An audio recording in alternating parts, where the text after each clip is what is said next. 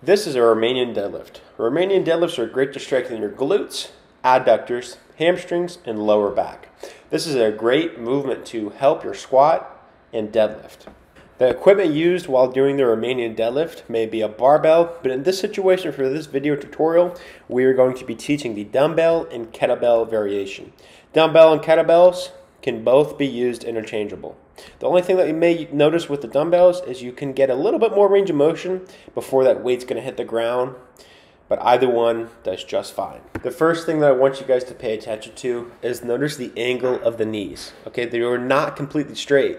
That can be a common mistake.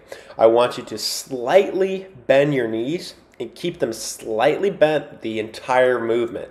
That's going to keep discomfort away from your knees and also ensure that we are utilizing the hamstrings the way that we want to. The way you're going to perform this exercise is keeping your back straight in a neutral position. Do not have it too flexed, meaning rounded forward, and do not have it too extended, which means leaning back too much, arching your back. That's going to put too much stress on your spine whether that be in a hyperextended position or a hyperflexed position. Both will create discomfort long term on your spine and in your disc.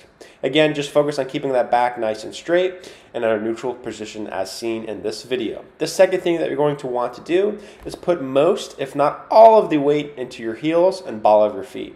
If you focus putting the weight into your heels, you're going to better feel it in your hamstrings. You almost want to lean back into your hips. And when you come down and up, make sure that you focus on squeezing your glutes together. What that is going to do is create a hinge like movement and is going to isolate your hamstrings, lower back, and glutes, which is what the Romanian deadlift is designed to do.